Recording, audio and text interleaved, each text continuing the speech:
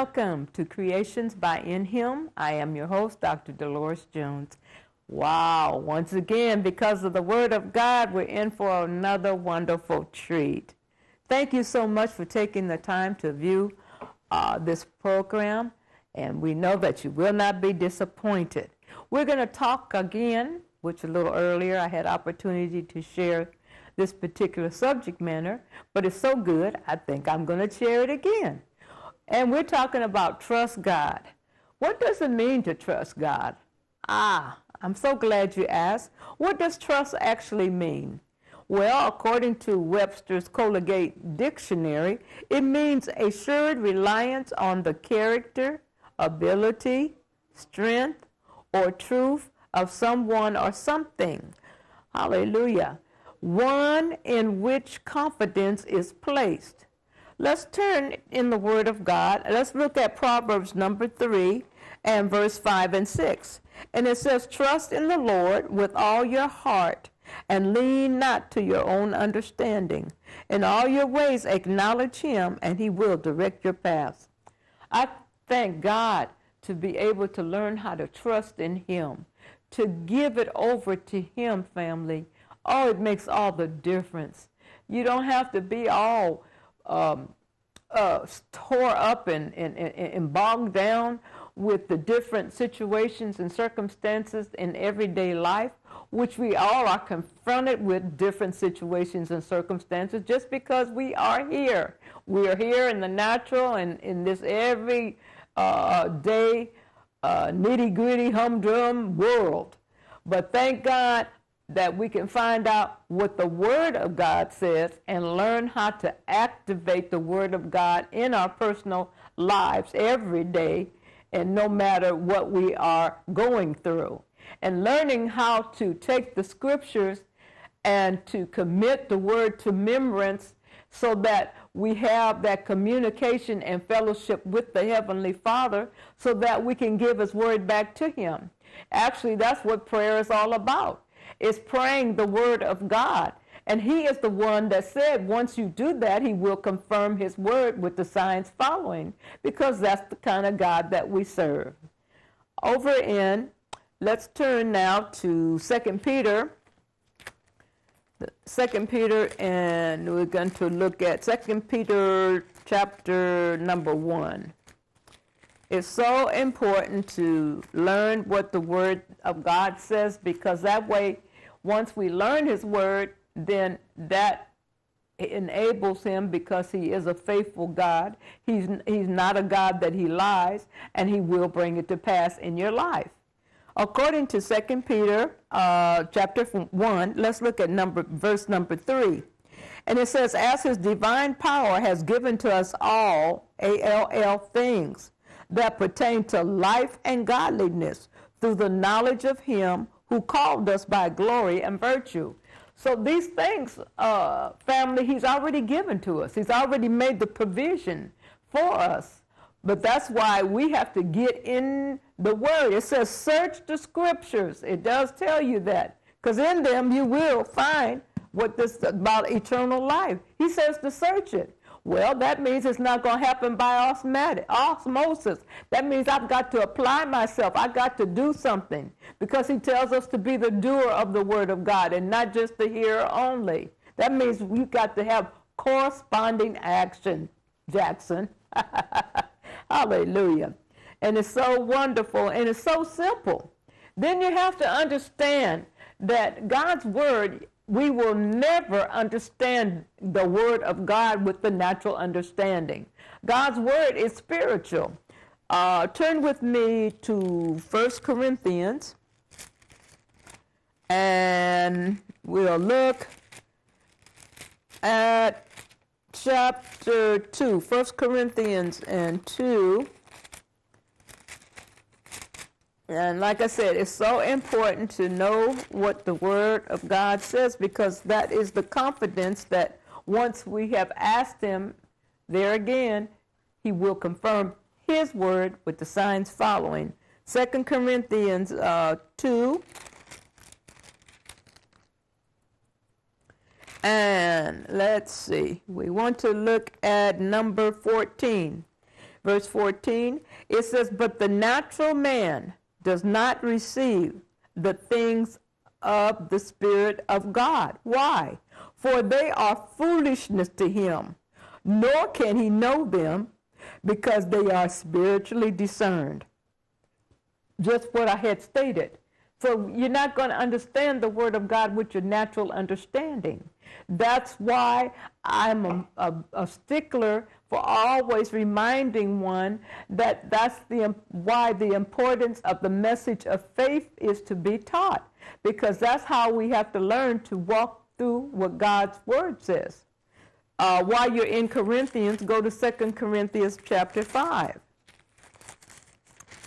2 Corinthians and chapter number 5. And let's look at number 7, verse 7. It says, For we walk by faith and not by sight. In other words, when it comes to the Word of God, one has to turn off sense, knowledge, evidence. Well, what am I saying? What you can see, feel, hear, touch, and taste. When it comes to the Word of God, uh, it has nothing to do with the sense, knowledge, evidence. It's what one believes and confesses according to the Word of God. Then the Lord is the one who said, I will confirm my word with the signs following. Now you can understand why it's so important that you are the one that has to get the word of God. It's not going to just happen by osmosis. Then that's how prayer is established. You begin to, to uh, read the word, give God his word back to him, and that's your assurance, that's your confidence in the word of God that God will confirm his word with the signs following. Because that's how he operates, that's how he's made it. So we have to do it his way and not our way. and that's why sometimes we say, well, it doesn't work. It works, but you got to work it his way. And you have to understand, like I said, that God is a faithful God. He will bring it to pass. He is a God of his word. He will do all, A-L-L, that his word says he will do, all that we will believe and confess in line with his word. Then he said, I will confirm my word with the signs following. That is so awesome. It's so wonderful to know that we can depend on this kind of a God. And He is concerned uh, for us, about us, in every area and every aspect of our lives. However, He's a God, He will not force His way into our lives. But when we say, Father, I need your wisdom, I need your, your guidance, I need your direction, He's right there. He wants to assist you. And when you say that, it's on. Hallelujah. Turn with me um, to the book of Numbers. Uh, let's see, Numbers, chapter number 23, and let's look at verse number 19. It says, God is not a man that he should lie. Hello. I'm going to read that one again. God is not a man that he should lie. See, God, our, our Heavenly Father, the Lord Jesus Christ, is not a liar, nor a son of man that he should repent. Has he said, and will he not do it? Or has he spoken, and will he not make it good? Oh, then he says in verse 20, Behold, I have received a command to bless Woo, glory to God. It says, Behold, I have received a command to bless. He has already past tense, blessed, and I cannot reverse it. Oh, let me read that one again. It says, Behold, I have received a command to bless family. Then he says, I have blessed, past tense, it's already done, and I cannot reverse it. That's what I'm talking about. That's the kind of God we serve. That's why it's so important for us to get involved in this word to find out what He's already provided for us. That's why if you don't know that, then there's nothing that He can work out in your life because He's only going to confirm what His word says. Hallelujah. Woo, you go, Jesus. That's what we're talking about. In all actuality, if it's not about Him, it's not about nothing. Excuse my good English. That's why, like I said, we got to do things His way. And then when we begin to do that, when we will, when we surrender and want to do it His way, then that makes a life a lot easier. And we all are confronted because we're in this earth realm and we are in a spiritual warfare. We have an enemy. His name is Satan. He is the God of this world, okay? The, the, the word reminds us, according to John 10 and 10, he's the thief. He says in, in John 10 and 10, the thief comes not but to kill, to steal, and to destroy. That's his game. That's his plot against the children of God. That's why you have to find out what you have, what God has already provided for you. Find out that the authority that He's already given you. I said, use it or lose it. That's in your hands. So if you do nothing with it, excuse my good English, ain't no happenings. Hello. But once you find out what the word says, then you petition the Father. Your word says blah, blah, this, that, and the other, Daddy. So I'm trusting you. Trust God. I'm committing my situation into your hands. I thank you that I know you have my well being at hand. And I give you the praise. I give you the glory. I give you the honor. And I thank you for confirming your word in my life at this time with the signs following. Hallelujah. Because that's the kind of God we serve. Oh, he's an awesome God. He's a loving God. He, he, and there again, he's concerned about every area every aspect of your life, but we have to will to do it His way. Hallelujah. Let's look at, uh, while we've just gone through Numbers, go over to Deuteronomy. Deuteronomy. And uh, we'll look at um, chapter number 30, Deuteronomy 30. I tell you, the Word of God is so good, it's so awesome, and it's life changing. But if you don't know that, if you don't take the time to get into it, you'll never find it out. And that's what the enemy wants you not to get into the Word of God, so that you will have you you'll miss out on all the goodness and the blessings that God has already prepared for those who love Him. Deuteronomy 30, 19, verse number 30, uh, 19. I call heaven and earth as witnesses today against you that I have set before you life and death, blessing and cursing. Therefore, what's it there for? Choose life, that both you and your descendants may live, that you may love the Lord your God that you may obey his voice, that you may cling to him, for he is your life and length of your days, that you may dwell in the land which the Lord swore to your fathers, to Abraham, Isaac, and Jacob, to give them. So he's already set before us these blessings in life, and he tells us what to do. Choose life. Understand that God is all about life. It's the enemy, Satan, the God of this world, that's about death. That's the difference. God is all about life. He said, I've come that you might have life, not death, but you might have life and have it more abundantly. The devil is a lie. So you have to find out what is there available for you as his child. And hallelujah. And that's why we have to, to uh, uh, renew the mind, your mind, according to what the Word of God says. Let's look at um, Romans chapter 12. Book of Romans.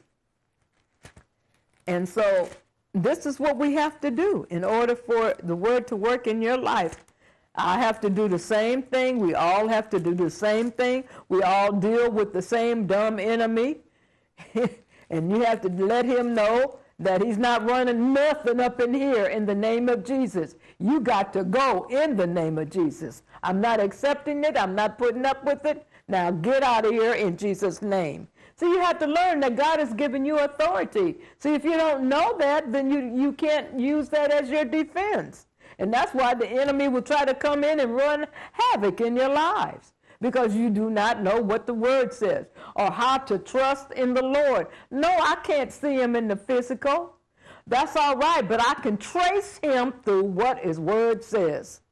Romans 12, look at number one. It says, I beseech you, therefore, brethren, by the mercies of God, that you present your bodies a living sacrifice, holy, acceptable to God, which is your reasonable or rational service.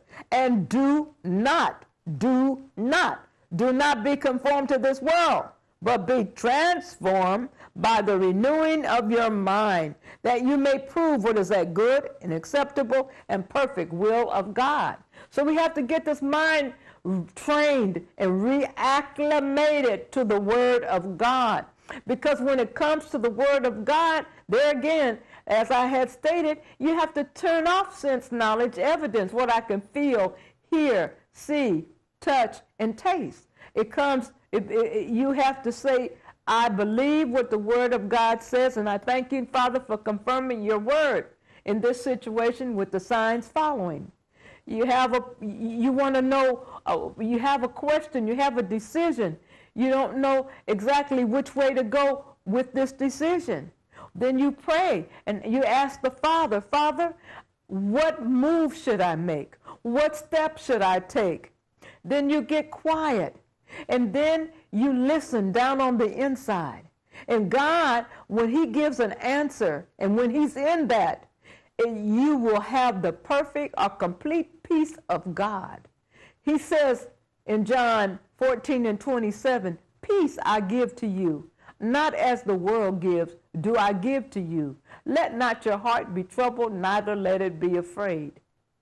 He reminds us over in Philippians 4, verses 6 and 7, to be anxious for nothing, but in everything by prayer Make your request made known unto God. Why, God? And then number seven says, and the peace. Ooh, the peace of God that passeth all understanding will guard our hearts and minds. I tell you, and I've said it before, if we could bottle up peace and sell it, we'd all be billionaires. Because that's what everyone, the world is looking for peace. Well, I'm here to tell you the true peace is only going to come from the Lord Jesus Christ. He says, Peace I give to you. He's already given it to us. All we have to do is receive His peace, the peace of God which passeth all understanding. Oh, it's oh, it's so awesome. It's so wonderful. His peace. Oh my goodness. Turn with me to um, Isaiah, the book of Isaiah. Oh, yes, nothing like the peace of God. And family, what's so wonderful is free. All you have to do is receive it. He's already made it available. Let's look at number three, Isaiah chapter 26, verse number three. You will keep him in perfect, or in other words, complete peace. Ooh, glory. Yes, whose mind is stayed on you. Why? because he trusts in you. Then it says, trust in the Lord forever. Hallelujah. That's what we're talking about. That's what we're talking about. Trust God. I don't know how how this is going to work out, but I'm not going to be frustrated and trying to even figure it out. He told me to give it to him, to cast the whole of care on him in 1 Peter 5 and 7, which tells us casting all, all your care on him, all your worries, all your all concerns, whatever it is that you're dealing with in life. Give it to the Father by faith. Release it. Father, here's the situation. By faith, I release it to you in the name of Jesus. Now, I thank you for working it out. I thank you for turning it around to your praise, to your glory, and to your honor. You said you would do it. Now I am trusting you. You have the best way. And I enter into your peace and in your rest right now in the name of Jesus. You remind the devil, he's not running nothing up in here. Tell him to get back, get off, and back down in the name of Jesus. He's not running this in the name of Jesus.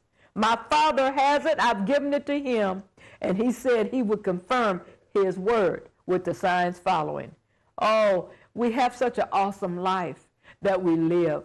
It's such a wonderful, wonderful way to learn how to do things. It's so awesome to know that you're not by yourself. You have a God that truly has your back. He's concerned, there again, very concerned about every area and every aspect of your life. However, he's a gentleman. He will not force his way into your life. But when you say, Father, I'm asking for your help. I'm asking for your wisdom. I'm asking for your guidance in this situation because I just don't know what way to handle it. There again, like I said, then you pray about it and you say, Father, I give this to you by faith. I release it into your hands now. And I enter into your peace. I enter into your rest. And then that peace, there's a peace that comes from God deep down on the inside. It's not going to be in your head, but there's a rest.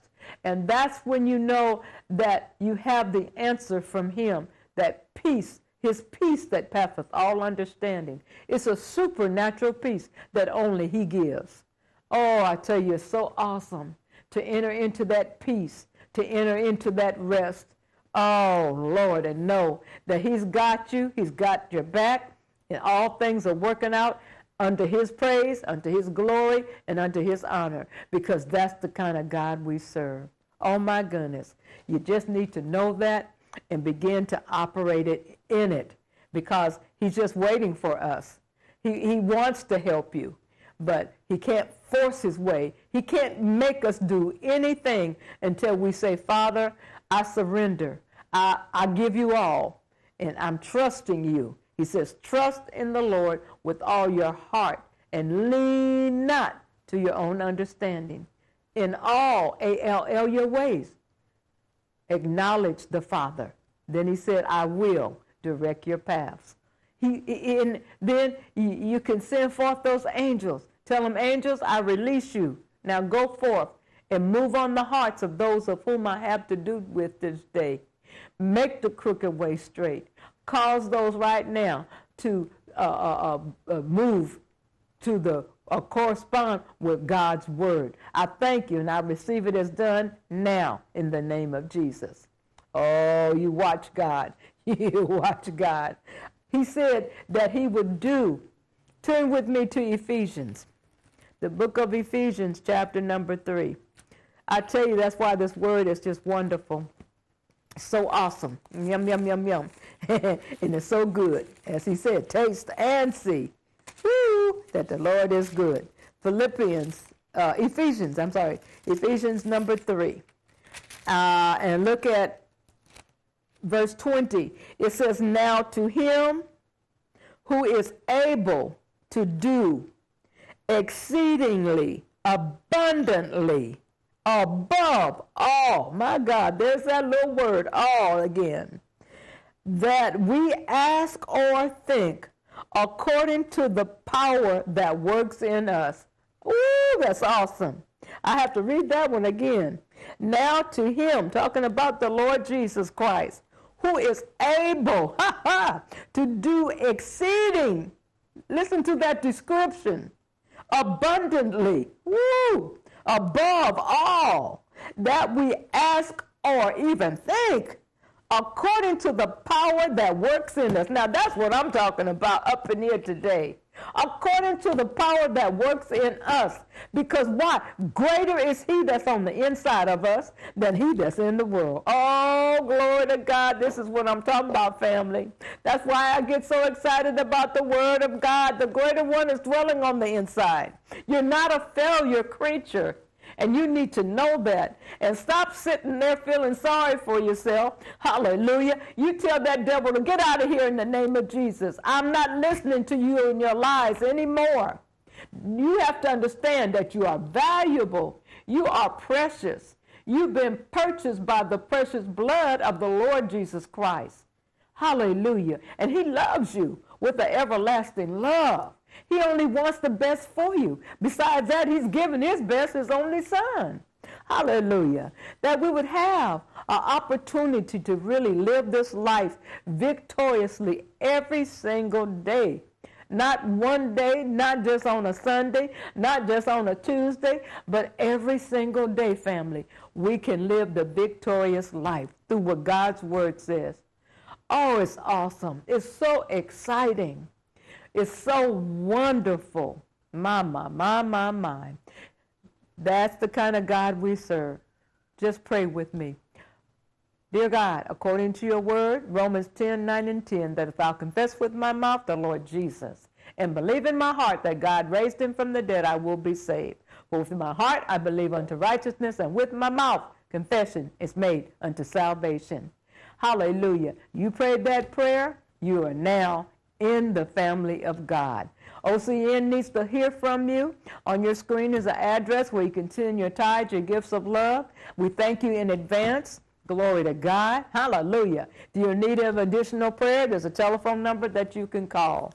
We're so happy that you tuned in today. We thank you. So remember, this week is another week of the devil's defeat. Thank you. We'll see you for the next time.